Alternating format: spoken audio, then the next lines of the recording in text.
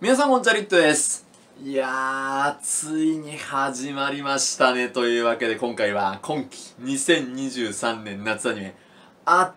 倒的派遣候補。こちらの作品呪術廻戦第2期の関数を追ってきたと思います。というわけで皆さんもう見られましたか？呪術2期ね。まあ、この先は毎週同時賞もやっていくというところで、早速ね、昨日もやらせていただいたんですけど、まあ、平日深夜にもかかわらずにめちゃくちゃ盛り上がりまして、おかげさまでありがとうございますという中で、まあ、ツイッターもね、さすがの呪術回戦と呪術2期トレンド1位にとかで、トレンドもね、めちゃくちゃ入ってたという中でね、じゃあ、内容は、作画は、演出は音楽名はぶっちゃけどうだったのかというところでその正直すぎる感想一切忖度ない感想ですね、えー、いつもらしてましてこの間はありで話していきたいと思いますというところで。いやもう今季ね不作ムードが漂いまくってるんですね実はもう私のところに毎日のようにリクさん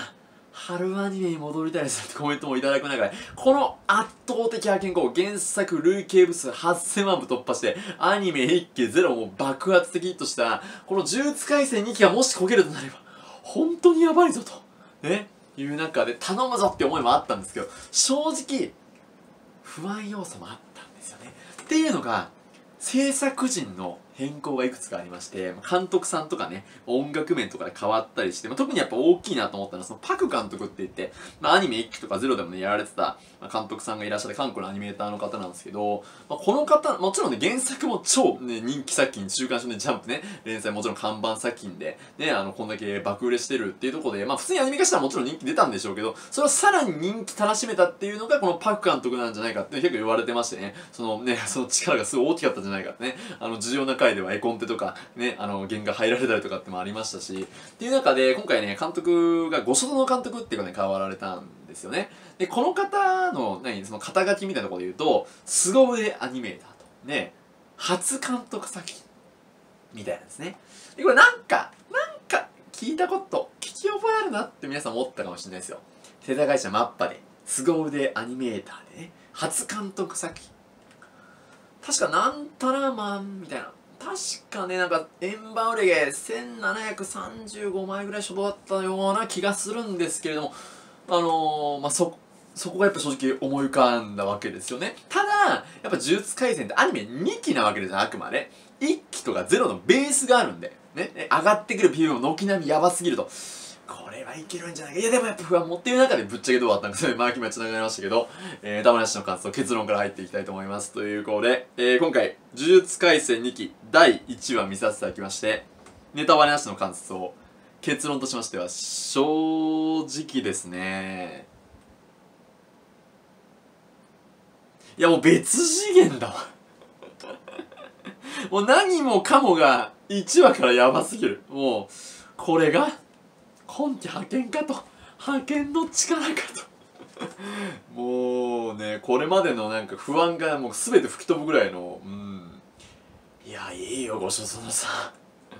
ん。いやすごかったね。まあ今回っていうのはねこの開局直接って最初の始まってくるところに関してはあの五条下等の加工編というところですね、まあ、五条下等のこのペアリングというのはなんか女性にも非常に高いみたいなんですけどもね。っていう意味でもここの話も本当原作で一番面白いともねあの渋谷時代もそうですけど言われてるぐらいの中でもう1はね正直完全導入会っていうとこあったんですけどうん。すごすぎた。本当にもうクオリティ作画がねもはや1期とか0より上がってんじゃないかっていうもうやばいクオリティ。ゼロなんてもはや映画なのにもう1話からこんなやばい作画なのかぐらいの見せてくれたし雰囲気また青春感。まああの呪術廻戦この2期ねこの序盤のテーマにもなってくると思います。この青春感もやばいですし。あとオープニングとエンディングもねいきなりこう出てきたんですよ。まあ1話。まあ25話ってまあね正式には出てますけれども。うん。いう中でこれもねめちゃくちゃ良かったの。オープニングね、あの、北谷さん、あのブリーチでもね、オープニングスカーってやられてたんですけど、でもそういう意味でも僕は単だと間違いないなと思ったんですけど、もう映像タイマーってめちゃくちゃ今、それだけな人だった。最初アニオリもあったんですけど、今回アニオリも結構あって、その他もまたいいんで、その原作も結構さらってるとこ、うまく交換してさ、なんか黒バスみたいなのもあってさ、青峰かよとか言っても突っ込みながら見てましたけれども、ちょっとすごすぎた。もうびっくりした。別に1話ってこの何この25話ってうわー呪術廻戦2期おもろすぎる最高やっぱこれが派遣ってなる別に話じゃないんですよそもそもね。始まった呪術廻戦2期ぐらいの感じだったはずなのに。あまりにすごすぎて。あこれが派遣だってもうね昨日もね生放送やってもう言葉でそういう言葉溢れてましたけどうんキャラの魅力もやっぱぶち抜けてるね。やっぱ五条ゲートまあそれ以外もねやっぱイエリーちゃんとかねあの歌姫とかめめとかまああのその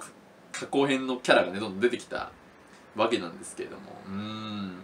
あ、正直ねちょっと序盤とか始まった瞬間とかちょっとチェンソーマンっぽくなかった。ねあのーマッパさんということで、まあ、同じ世界まあ、もちろん同じアニメーターの方、まあ、すごいアニメーターもすごい参戦してたっていう中で、あのまあ、同じような感じもしてねどんな風に始まるんだろうっていうところだったんですけどやっぱこのオープニング入ってからというかオープニング入るアバンからオープニング入ってるのこのねちょっとええぐすぎた。感じで。でもこっからがもう楽しみで楽しみでしかないと。もう不安が僕は正直全て吹き飛んだ。ただやっぱ音楽面とか、そのキャラクターと変わってんですよ。だから、それでやっぱ一期とかなんか好きって人は正直いるのかなとは思うんですけど、まあでも、まあ正直もう3、もうあのー、好評意見がもう大多数なのかなっていうのはね、まあ僕の、まあいろいろ感想を見た感じですけれども、やっぱ声もね、声優さんがもうイケボでイケボで、中村祐一さん、桜井さん、桜井さん、ねえ、はい。ちょっとすごすぎじゃない？でもこっから無限に面白くなるわけですよ。だってこう一番面白いって言ってね別に1話の見た見た人分かると別にめちゃくちゃ導入なわけよ。うん。っていう中でここまで面白いのはほんとエグすぎるし。うん。あと体感時間がね短すぎちゃうもう本当に。あの五条さんもやっぱ一応、まあ、出てくるんですけどもう出てきたら1分ぐらい終わったんだ え？みたいなもう終わったんですか？みたいなやっぱ本当に面白いアニメだとね同時視聴とかやってもえまだえもうまだ次の話まだやんないのか？みたいな え、もう終わったのか？みたいになるんですけど、もう本当に早かった。え？みたいな。いや、まだ全然見てないぐらいの勢いでしたね。うーん。ちょっとすごすぎたね。うん。てか、作がビビったわ。ちょっと良すぎて。え、何これ？と思って。うん、雰囲気もね、めっちゃいいんじゃないかなと思いました。まあ、やっぱ、特にやっぱね、この2期の序盤っていうのは、呪術廻戦がやっぱかなりダークな、ね、要素が強い。さっきなんです。基本的にやっぱすごい青春要素とか今回もちょっとコミカルな描写もあったんですけどそこのね出し方がうまいわけ。そこのなんかさそのシリアスさとのこのなんか塩梅とかこのね緩急がねすごかった。うん。見事だったね。原作だったら2話分ぐらいだったんですけど。ここまでうまく膨らませてくれた普通アニメ1話でアニオリとか入れてきたら「えなんだよアニオリかー」みたいなねもう原作通りやれよみたいな結構出たりするんですけど、全く出ないっていう。まあ多分ね、さちさん、芥野劇先生は多分関わられてんじゃないかなと思うんですけど、うん、まあ、すごかったね。うん、素晴らしすぎだなと、えー、思いまして。で、まあ別に話としてはまだまだ全然こっからなんで、うん、まあ作画のね、期待値まだまだこっからなんで、そういう意味ではもう無限の期待だなっていう。とこで、やっぱこれが派遣だなと。もともとね、これがまあそもそも普通に言ったらね、普通にやって、あの、この先にもどうやっても派遣取るよねと。もう今期はね、週間ランキングやっても、ね、呪術、ブリーチ、無職とかでグリグリするんじゃないかとか言ってたんですけど、うん、ちょっと呪術がね、とんでもない一部を見せてくれたなと。まあ、ブリーチはまだ始まってないですけどね、無職もね、意外と賛否分かれてる中で、いやー、これは文句なしじゃないよ。ちょっとすごかったよ、本当に。かっこよすぎちゃってさ。で多分男から見てこんなかっこいいんだから女性から見たら本当にやばいんじゃねえかなっていう感じがしてて。円盤売り上げもさ1期3万枚ぐらいだったんめっちゃ売れたんですけど2期もしかしたら3位売れるんじゃないかとかいう声も出てくるぐらい。おーすごかったなと思いましたね。でまあ一応初見でも見れるんですけどもちろんねやっぱ呪術廻戦1期、まあ、少なくとも2クール見た方がいいし、まあ、ゼロは見なくても別に大丈夫なんですけど見た方がいるこの時楽しめるのは間違いないんでね、うん、っていう中であ凄まじいもん持ってきたな。であとさ意外とめっちゃ期間空いてたんだね。いや僕もさ YouTube 始めたばっかりだったも10回始めた時で。2020年秋冬でやってたんですけど。懐かしいねこの週刊ランキングで。今動画でやってるって僕昔生放送やってたんですよね。うんとかなんかすごい懐かしいなと思いながら。ゼロもねもう1年半前とかね。2021年の12月末、うん、下旬24日とかだっけ。うんっていうところだったんですよね。っていう意味でもねなんかあその経ってたんだと思いながら、まあ、でもこの盛り上がりはね間違いなく。そして原作も今めちゃくちゃ盛り上がってるところですんで間違いなくお祭り騒ぎにここからなってくるんじゃないかなというふうに思ってますし同時視聴もね正直ちょっと盛り上がるか未知数だったんですけどめちゃくちゃ盛り上がりましてありがとうございます。あの、まあ、感想とかね再生が取れるとか知らないですけど、うん、ちょっとこんだけ凄まじいもん見せてもらったらガンガン語っていきたいなというふうに思ってます。はい。でオープニングとかねエンディング変わるかみたいな話もあるんですけどね、まあ、やっぱその開局力説とかのその区切りのところでやっぱ変わるんじゃないかなっていうのはまあその見た感じでも思ったのでキービジュアルも新しいの出るんじゃないかなと思ってますけどまあ少なくとも連続に来るということで秋がやばいっすよ。まあこの話はもう何時間経っちゃうからなんだけど来季もねとんでもないラインナップでそこに呪術2期の2クル目が入ってくるっていうのももう僕は信じられないことになってるなと思って嬉しすぎるなと思ってるんですけどあのまあ2クル目の時に絶対最後そのキービジュアルとか作あのオープニングが変わってくるのは間違いないんですけど、まあ、途中で変わってくる可能性も正直あるかなっていうそのぐらいの力の入り方。うん。金かかって。る アニメーターね最強アニメーターたちが集結してなってもう見て一瞬でわかるよね。凄まじいも見たなってもう超テンション上がりました。いやもう1話がちょっともう泣いたよねもうちょっと。なんだこれみたいな。感動しちゃった。でさこの先はやっぱみんな知ってるわけじゃん。呪術廻戦見てたら。ね。五条とゲトってなんかそれを見ながらこれ見てるとなんかよりまた来るよねとか思いながら。最高でしたね。すごすぎた。はい。文句なし。ですこれが派遣だと思いましたというところで、まあ、ぜひね、この、これが派遣だって思う、この25ね、呪術廻戦ここからさらに上がっていくんですけど、これをもしね、上回るくらい先が出てきたら本当にやべえなっていう、うん、感じですけどね。ブルーロックの時も冬の時もそんなこと言ってたんですけど2クル目を上回ってくる作品が出てきたらすげえなって言ってたんですけどちょっと呪術2期はねちょっとクオリティもエグすぎるからマジで。うん。これ超えてくる作品できたらめっちゃ盛り上がるぞこんって感じがしてるぐらいやっぱもう圧倒的だなって正直思ってますここまではいということで、ネタバラシの感想を以上としまして、今回ネタバリの感想を入っていきたいと思います。ネタバレにご注意ください。というところでね、ネタバレありの感想としてはですね、ネタバレにご注意くださいね。まあ、アニオリも含めて良すぎたね。バスケのところなんかやばくなかった？てか、まずあのー、最初ね、あの、メイメイと歌姫の、まあ、アニオリ、まあ、てか最初あれだね、ゲトのところでなんか路地裏みたいなチェンソーかとかを見ながら、あのー、見てたんですけれども、んで、まあ、すごいチェンソーマンっぽさ、やっぱ同じ世界者だなとか、アニメーターさん言ってんだなとか思うような感じも出し、そのダークな感情を出してからの、メイメイと歌姫で、あれ全部アニオリなんだよ、最初の辺って。あのー、なんかさ、無限、永遠の悪魔みたいな、なんかその出れないみたいな状態はもう現在でもあるんだけど、まあ、原作だとむしろそそんぐらいから始まるぐらいの勢いなんですよね、うん、っていう意味でアニオリもめちゃくちゃあったんですけど。で多分最初ねえ何の話みたいなさ。あれ知らないキャラだぞみたいな思った人もねいたと思うんですけど。まああそこでさあのー、何あの道がぶっ壊れてって五条さんが登場してオープニング入った時点でも派遣だってなったよね。これすごかったね。いや正直さ、オープニングとかエンディング、まあ、まあ1話って流さない作品結構多いですから、流さないのかなと思ったし、とかね、あの、特殊エンディングにしてオープニング流すの結構あるんですよね。うん、っていう中で、オープニングとエンディングバチッと入れていく中で、こんなにかっこいいかみたいな。いや、オープニングやばい映像神すぎる歌も良すぎるいやー、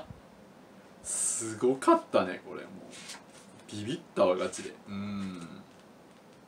っていうところで、まあ、うまくね、歌姫とメイメイっていう、まあ、どうしてもやっぱ五条とゲトとかってもう超キャラ立ってるわけもともとね、うん、っていう中でねここをうまくねキャラ立ちさせてくれたなとも思いますしうん。やっぱアニメのこのクオリティの高さがね際立ってたね。うん。ですごかったね。五条さん出てきただけでこんな面白いなみたいな。あれ？これ大丈夫かって思った人もいたと思うんですね。僕はやっぱすごいこの雰囲気の作り込みとかアニオリでここまでやってくるのエグいなって思いながらアバン見てましたけど。50歳できたからもうねやばかったね全部面白すぎたなって思ったしやっぱ作画映像のこだわり？うん、やっぱ音楽面僕はすごい好きだなと思いましたね。うん、なんか今のとこやっぱすごい青春を意識してる感じだと思うんですけど、まあこれがどんな風に変化していくのか、それともこのままやっていくのか、まあすごいやっぱそこはね楽しみだなというのは思ってました。エンディングもね、またいいよね、あの、うん、でもこれなんか泣くわな とか思いながら見てましたけど、うん、まあまだ全然バトルシーンとかもない中でね、まあ後半特に怒涛の展開でしたけれども、すごいちょっとかっこよすぎるキャラが。で、バスケのシーンやばかったね。なんか青宮かと思っちゃって。バスケのシーンとかアニオリなんですけどね、あんなかっこよく描けんだみたいな。うん。すごいよね。普通やりすぎるとさ、僕も呪術最初見てる時ちょっとね、女性受け意識すぎたんじゃないのか言ってる時あったんですけど、うん。ここまでかっこよかったらもうもう言わないよね、そんなこと。うん、っていうのはね、思ったし、やっぱ声優の力もすごい感じたし、まあパパグロも出てきたんですけどね、まあすげえ楽しみだなっていう思いましたけど、うん、やっぱちょっと、すごすぎたねマジで。うん。ちょっとこの先ももう楽しみすぎるなというね、まあ、圧倒的すぎる、うん、1話あったんじゃないかなと思いましたね。うんやっぱこの、まあ、背景とかもそうだしやっぱカメラワークとかもねこだわりが詰まってたなと思ったしまあ結構ね緩い描写もあるんだけど普通だったらなんかこれ緩いのいるとかなりがちなんですけどこの先にそこのなんか塩梅がまたいいんですよね。うまいなと思って。うんちょっと1話からここまですごいとは思ってなかったからマジで。うんてかマジでさあの初回マジで1時間でよかったんじゃねえかぐらい思ったよね。うんっていうところで、はあ、素晴らしかったですね。まあね、あのー、まあ、この先はめあんまね、その、イタイタドリって主人公は人気、主人公っぽくないと結構いろいろ言われたりしてる中でね、まあ、過去編、まだ全然主人公出てきませんけどね。は